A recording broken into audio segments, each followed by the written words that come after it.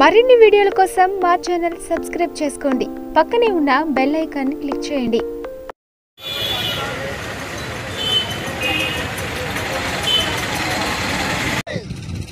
కర్నూలు జిల్లాలో నూట ఆరు చెరువు నీళ్ళు వెంటనే. కర్నూలు జిల్లాలో నూట ఆరు చెరువు నీళ్ళు వెంటనే. చెరువు నీళ్ళు వెంటనే. పోరాడతాం పోరాడతాం నూట అరవై నీళ్ళు పాలించేంత వరకు.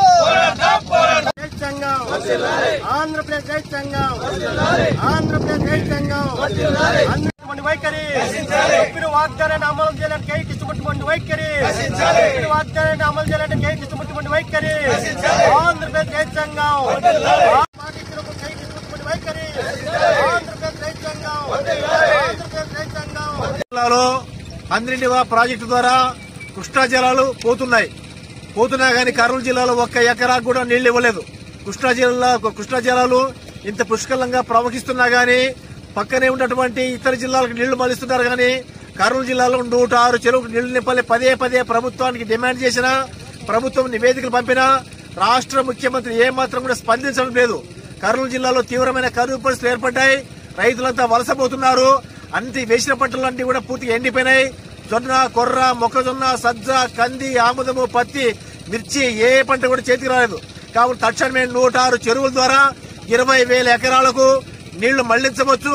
అన్ని ప్రాజెక్టు ద్వారా కాలువల ద్వారా ఎనభై వేల ఎకరాలకు నూట ఆరు చెరువుల ద్వారా మరో ఇరవై వేల ఎకరాలకు వెరసి ఒక లక్ష ఎకరాలకు నీళ్ళు మళ్ళించవచ్చు.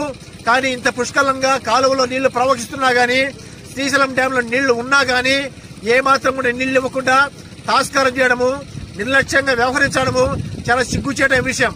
రాష్ట్ర ముఖ్యమంత్రి చంద్రబాబు నాయుడు రైతులకు వ్యవసాయాన్ని పండగ చేస్తానని రైతుల కన్నీళ్ళు తుడుస్తానని తన హయాంలో అందరూ కూడా సుఖ సంతోషంగా ఉన్నారని చెప్పిన ముఖ్యమంత్రి తన తన హయాంలోనే ఈ ఖరీఫ్ సీజన్లోనే దాదాపు నలభై ఐదు మంది రైతులు ఆత్మహత్య చేసుకున్నారు.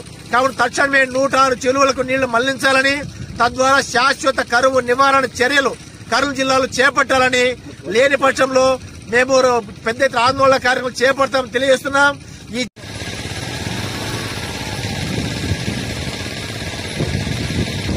ఆంధ్రప్రదేశ్ రైతు సంఘం. వడ్డిల్లాలి